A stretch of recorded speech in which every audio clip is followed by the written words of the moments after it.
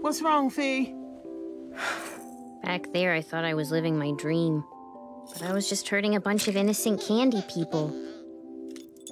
Have I been hurting people in all these universes? That place was messed up because that Simon was messed up. The next world will have a magic crown that will work, and I'll be cursed the right way.